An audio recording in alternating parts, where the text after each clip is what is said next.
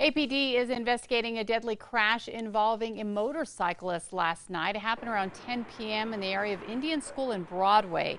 Witnesses told police six motorcycles were doing tricks when one rider sped off on Commercial Street. That rider eventually crashed and died on scene.